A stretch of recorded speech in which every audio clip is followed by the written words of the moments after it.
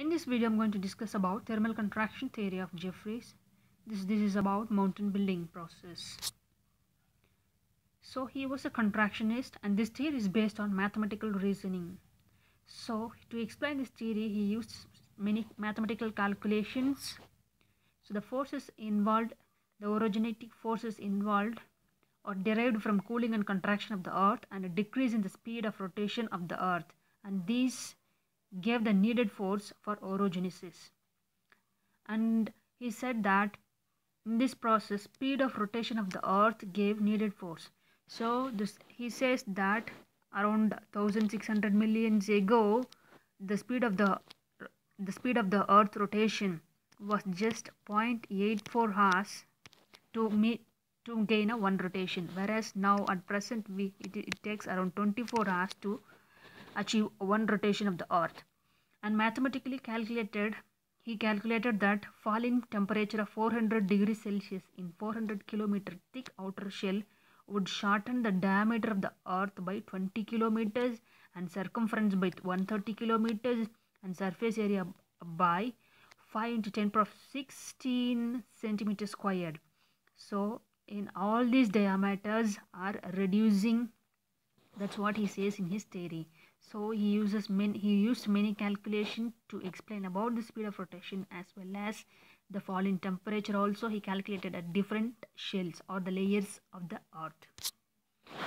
Mechanism of the theory and cooling is effective up to 700 kilometers 700 kilometer which is up to the upper mantle. So at the end at, until the upper mantle he says that an upper layer contracted more than the layer below so the crust contracted more than the mantle and core is not affected by cooling due to high temperature and core obstructs the contraction of layer above it above it because of the high temperature which is prevailing in the core.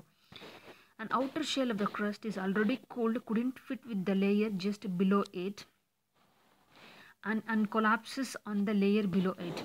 So the outer layer is very it's cold and because of this cooling it's contracting and because of this contraction it couldn't fit with the layer below that and so it's collapsing on the layer below it. So the crust is collapsing on the mantle.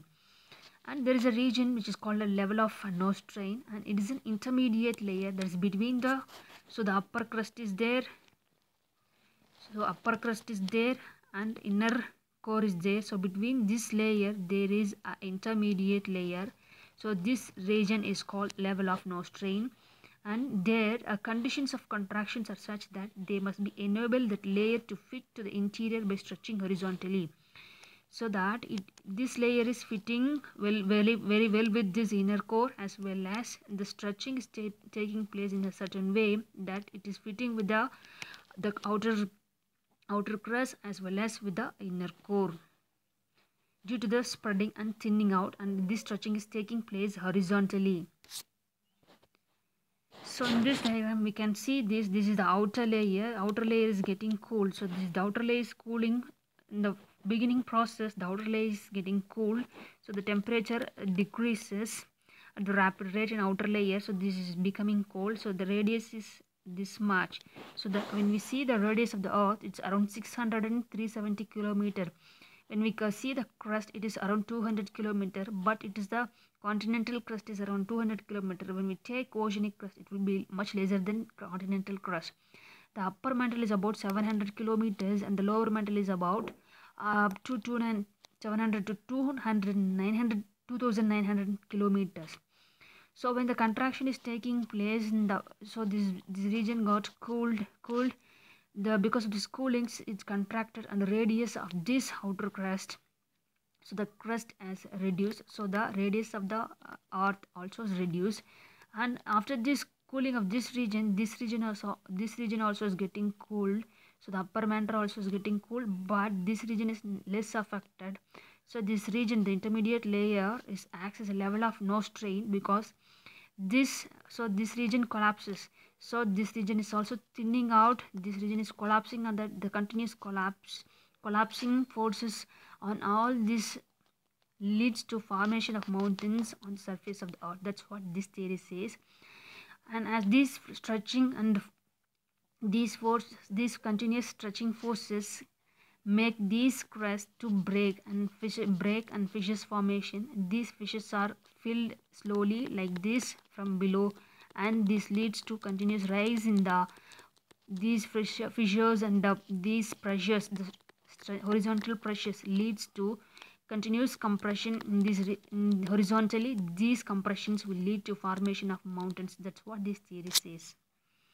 An upper layer collapses to fit with the lower layer and this results in the decrease in the radius of the earth and this causes horizontal compressive stress which leads to buckling and folding of the rocks of upper layer and thus mountains are formed and rise in height of the mountains. That's because the continuous stretching horizontally leads to fissures and fractures of these rocks and these fissures are filled from below and height of mountains rise depending upon the forces. As as as long as the force is continuous so the mountain building process also is continuous. The mountain will the because the forces are horizontal forces because of the because of that the mountains are continuously rising. So the height of the mountains rise period of mountain building depending upon the accumulated forces it can be a, a accumulated forces could be a compressive force and tensile force. A mountain building occurs and if force is weak then it stops.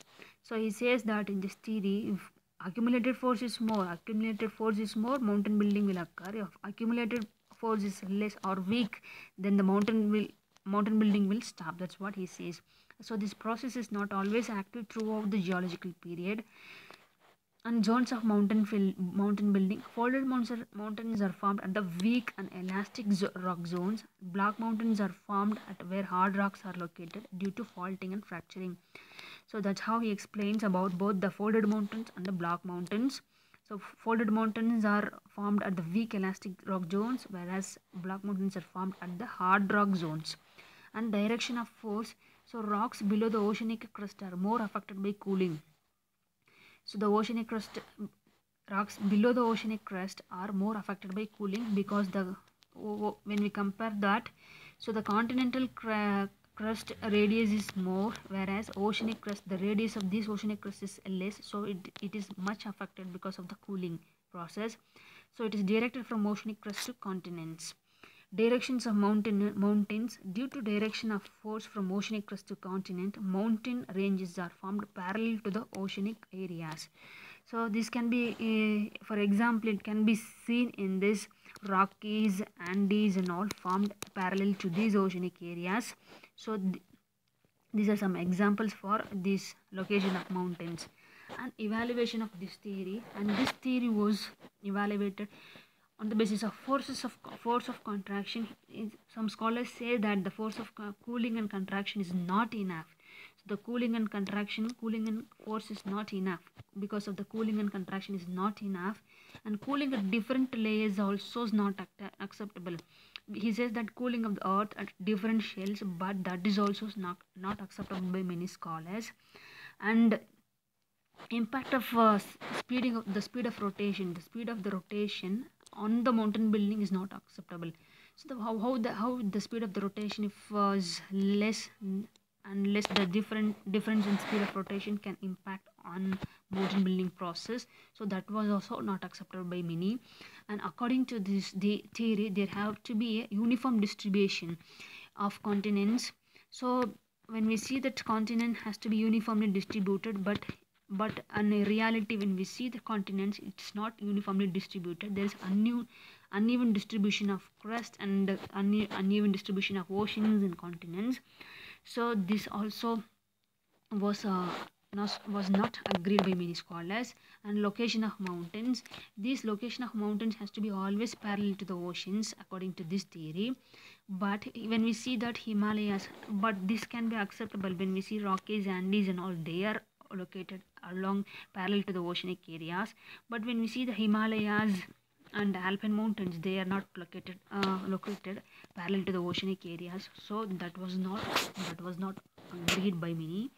On all the parts of crust ex experience contraction. So he says that all the parts of the crust experience contraction but the location of mountains near the happen uh, can be seen only near the margins of the continents near, only near the margins of the continents say this is the south america so only near the margins of the continents it can be seen but here in this theory he says that this contraction and cooling took place throughout the continent, but the location of mountains are seen only along the margins of the continents. So, and not everywhere. So, this theory was severely criticized by many. So, these is these are the many uh, critis-